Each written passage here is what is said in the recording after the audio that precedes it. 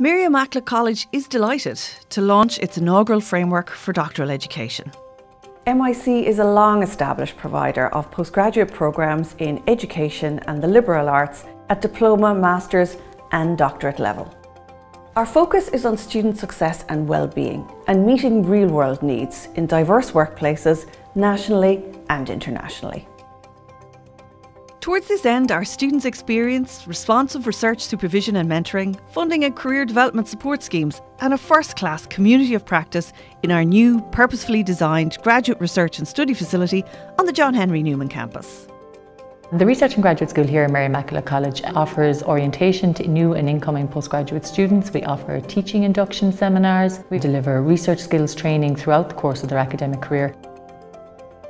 The purpose of the framework, which has been developed in relation to national and European level policy benchmarking, is to facilitate consistent excellence in the quality of postgraduate education, research and training, enable and encourage faculties, departments and institutional units to work more closely in the delivery of an improved learner experience and outcome, maximise the employability of doctoral graduates across a broad range of employment sectors, underpin the value and relevance of the doctoral award in the context of MIC's institutional strategic priorities, national research policy agendas, and global realities in higher education.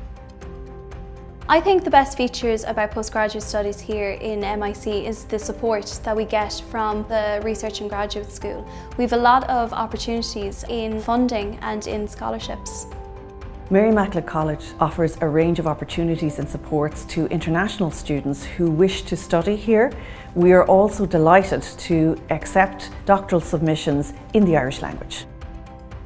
The shared ultimate aim of MIC's framework is to enable our graduates to engage in a life of progressive and responsive engagement with the key debates, controversies, and issues in a world of increasing social, cultural, and economic diversity nationally and internationally.